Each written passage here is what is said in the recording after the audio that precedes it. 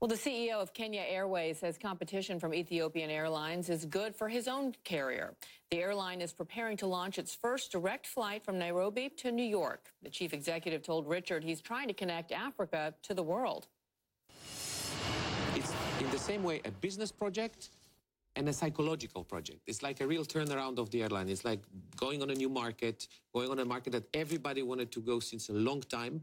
So we get lots of emotional support also, which is very important in the commercial part. In terms of the uh, of Kenya itself, in terms of Kenya, the, the airline itself, as you compete against the other, Yes. I mean, South African Airways, who knows what's happening there? It is a, it, I, my word's not yours, it's a basket case. Ethiopian still continues to grow strongly, but obviously has hit some roadblocks as well. Where do you see yourself? What are you aiming to do? We are aiming to connect uh, and a continent and the east coast of Africa to the east coast of the US. And if you take it the other way around, we are living in a continent which is 1.2 billion people, and we will be only the fifth African airline to fly from the US to Africa, and only the seventh city out of all the continent. But are you aiming to connect them within Africa?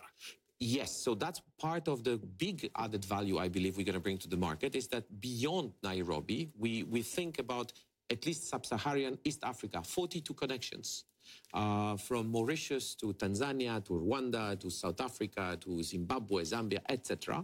These are all things that will be offered for passengers going to Nairobi. Competing directly with Ethiopian. But that's competing and cooperating. I mean, this is more about the connectivity of the continent. The more, the better Ethiopian is, the better I am. The better I am, the better they are. It's about bringing the level of water higher. You've had huge experience in European aviation, obviously from LOT and, and elsewhere. You've now got real experience uh, of African aviation. Lots of promise, which rarely gets delivered. Open skies, which may or may never happen. Declarations that never get met. Is it frustrating?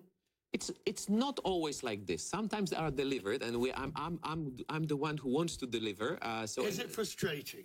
It is. Of course it is. But you know, this is a much earlier stage. So you have to also look at the whole chess play when you play your chess. Uh, many countries are just building airports now. Many countries want to invest in airlines. We are at a much earlier stage of development than Asia and, and Europe. And this is coming. So it's very nice to see this wave growing up. And of course, people would like to do it faster. They would like not to say that this is at early stage. Uh, but you know, we're living in a continent, and I'm working in a continent which has 100 million passengers a year. So you always have to keep in mind that this is less than one European carrier carries a year, uh, one low cost or whoever, whatever. So we are ahead of the growth, which I'm not forecasting to be a booming growth. I think that slowly, steadily, with the arrival of equity, investment, infrastructure capacity, this continent will grow, grow GDP per capita.